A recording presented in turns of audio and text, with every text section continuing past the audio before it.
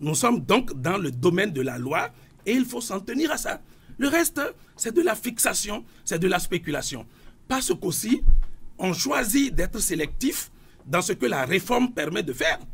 Lorsque le Parti Les démocrates touche aujourd'hui le financement politique, le financement public des partis politiques, hmm. est-ce que la loi est bonne? Je veux savoir.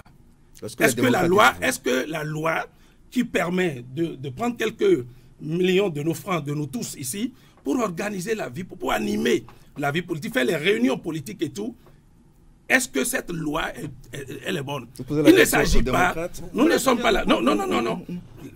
Je, vais au bout. Il, se calme, il m'écoute de bout en bout. Est-ce que la loi est bonne? Parce que je me suis calmé, moi. Est-ce que la loi est bonne? Est-ce que la loi qui a permis de désigner des responsables au Conseil économique et social et qu'ils ont désigné, est-ce que la loi est bonne? Il faut sortir de cette sélectivité selon que euh, c'est bon pour nous, on est en train de faire. On est républicain, on est citoyen, on respecte la loi. C'est de ça qu'il s'agit.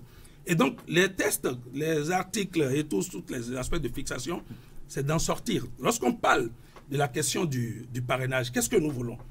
Nous sommes là à déplorer tous, depuis 1960, et davantage à partir de 90, que les partis politiques ne parviennent pas au sommet de l'État.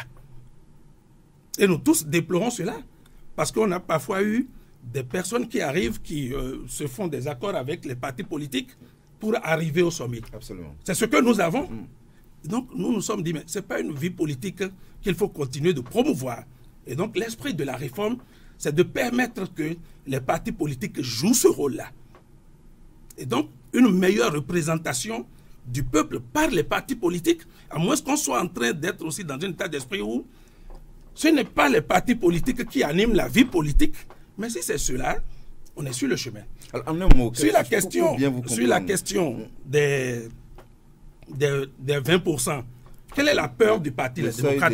Un parti hmm. qui se réclame et qui se dit parti du peuple, moi je ne vois pas le problème. Il faut aller convaincre. Si l'offre politique vous pose problème, améliorez-la. Il s'agit d'aller faire un challenge pour mobiliser l'électorat, pour atteindre. Vous parlez de proximité politique entre des groupes.